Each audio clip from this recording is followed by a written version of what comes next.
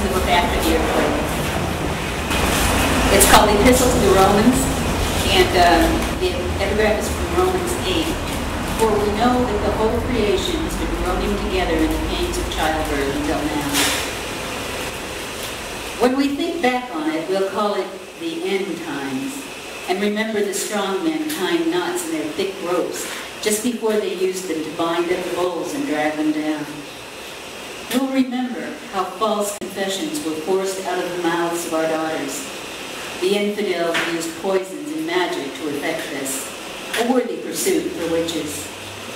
When the sea pulls out and out further, getting ready for the enormous tidal wave, we'll think of the bears and the chimpanzees, how they were released from the zoos and were then free to roam what was left of the earth. I don't remember what happened to the rest of the animals, do you? The sea will pull out, as I've said. You must believe it or you'll have no part in these dialogues. We will call it end times and reminisce about seeing bats, how they followed the seagulls out to sea, drowned there, as did poor Nana's only son. She had daughters with poor drowned Ned as her only boy. We were raised on mysticism and mine disasters. And we watched our fathers spit tobacco out into the orchards, to the fields, to the ocean. We will look back the last of the sunflowers leaning so low and will recall the end times, swooning the way the brown sky infiltrated houses and temples and concert halls. The proper incantation is the one that brings loved ones back to life after they've passed over the other side. My mother knew this, so did her eldest sister. They held hands sometimes and chanted it low and sweet over the newly dug graves in old cemeteries. Now my mother has died, and my aunt, her eldest sister, says there are no incantations.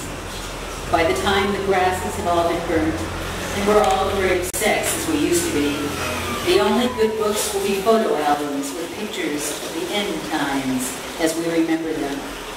While the hookers count their stretch marks and the pimps count their money, we will chuckle over the way hundreds of cars simply stopped on bridges. And people got out of the cars and looked over the sides down into the lakes and dry creek beds to see if anything could be divined there. We'll call them the end times and nod solemnly. We will cut our eyes to the side and smile at each other's chatter. Each of us will believe that, she, that he or she owns the truth. Not so. We all know the same secret. There is sunlight and there is snow, and horse piss stings in both. The end times will buckle and roll in our memories.